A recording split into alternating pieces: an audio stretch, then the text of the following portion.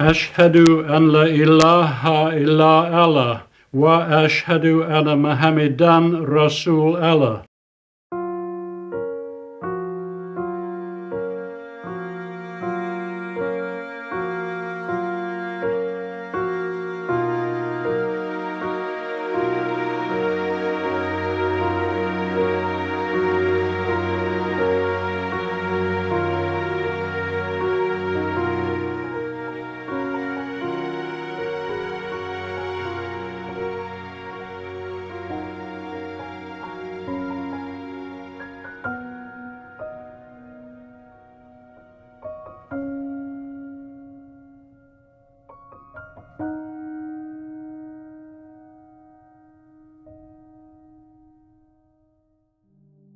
My uh, present appointment as a head of an electrical department in a university in London. For the first half of my life, uh, before that, I worked in industry, uh, the latter few years designing very large electrical machines.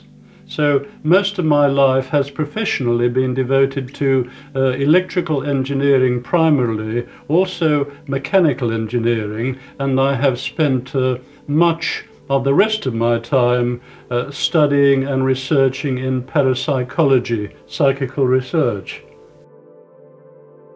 I am here in this conference because uh, uh, you, my colleague, and I decided that we would offer a paper on some unusual states of consciousness which are not uh, very much uh, the concern of normal science, but which are certainly uh, dealt with in the Quran and Hadith. Uh, I would just like to add uh, that we, our, findings together hmm. Uh, showed in the paper, which has been presented to the conference, that this coincides with the Quranic ayat, which I may read in Arabic. بسم الله الرحمن الرحيم الله يتوفى الأنفس حين موتها والتي لم تمت في منامها فيمسك التي قضى عليها الموت ويرسل الأخرى إلى أجل مسمى إن في ذلك لآيات لقوم يتفكرون uh, We read a paper uh, on altered states of consciousness of the human being called out of the body experiences, uh, lucid dreaming and near-death experiences. is our paper dealt with altered states of consciousness of human beings, uh, states of consciousness different from ordinary physical space. الله يتوفى الأنفس حين موتها والتي لم تمت في منامها فيمسك التي قضى عليها الموت ويرسل الأخرى إلى أجل مسمى. إن في ذلك لآيات لقوم يتفكرون. We considered three particular states of consciousness, the first being the out-of-body experience, in which many human beings for uh, indeed many thousands of years, have had the experience of floating outside their physical body, uh, in another body usually, but not always, and seeing their physical body lying on the bed. After interesting experiences, later returning to it. That normally takes place with no break in consciousness from getting in bed uh, to finally having the experience of returning to the body. The other kind of state of consciousness that we dealt with uh, was lucid dreaming.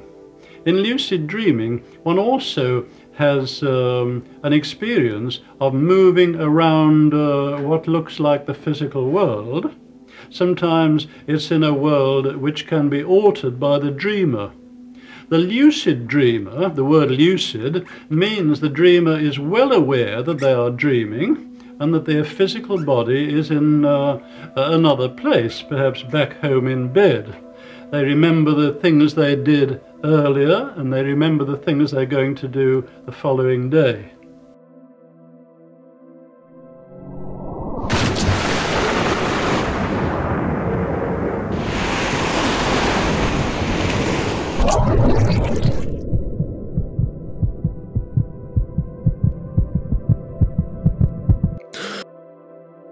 It has been found possible to communicate uh, with a lucid dreamer uh, through the action of their physical body.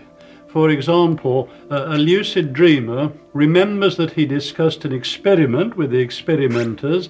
He can flick his eyes to and fro uh, and produce electrical activity in the muscles which move his eyes, and that will signal to the experimenters in their ordinary state of consciousness that the experiment is about to begin and then he can perhaps lift a weight and let a weight down to the ground again in his dream, and it has been found that certain electrical activity occurs in the muscles of his arms and legs. That is the sort of experiment that can be done to study that particular state of consciousness called lucid dreaming.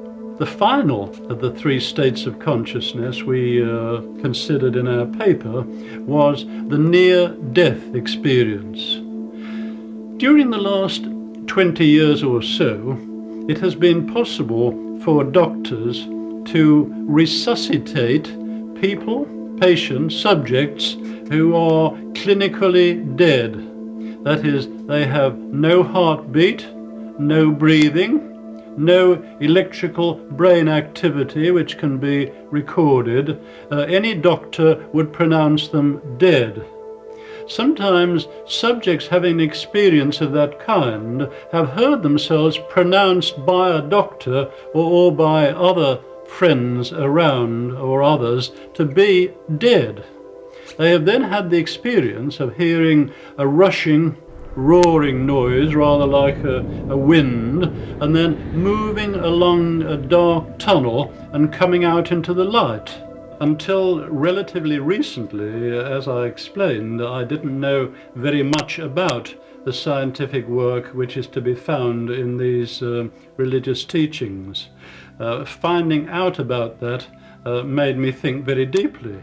But I was very surprised uh, to learn quite recently of the scientific statements which are to be found in Quran and Hadith.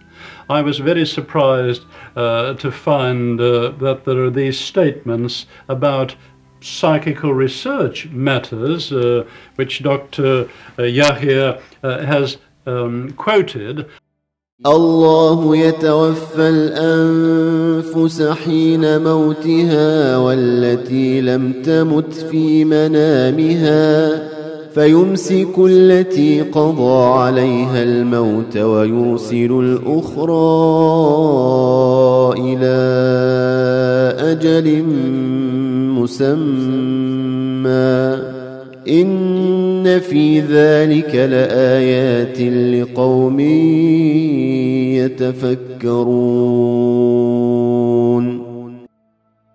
I was also very surprised to hear um, other Western scientists uh, quote uh, statements in the Quran about embryology and about geology and various other uh, medical matters. The stages of embryonic and fetal development mentioned in the Quran should be used when teaching Muslim students because they are in accordance with our modern understanding of the development before birth. It will also enable Muslim doctors and nurses to explain human development to their patients using Quranic references. Some of those facts uh, not having been discovered until the years of the present century. As the Quran and Hadith uh, are some 1400 years old, that surprised me uh, very much and made me wonder uh, what the source could be. Muhammad could not have known these facts about human development in the 7th century because most of them were not discovered until the 20th century. Muslims and others are justified in concluding that these facts could only have been revealed to Muhammad by the one known who knows all about us, not only about how we developed, but how we live and function. I uh, called myself um, Abdullah Ellison.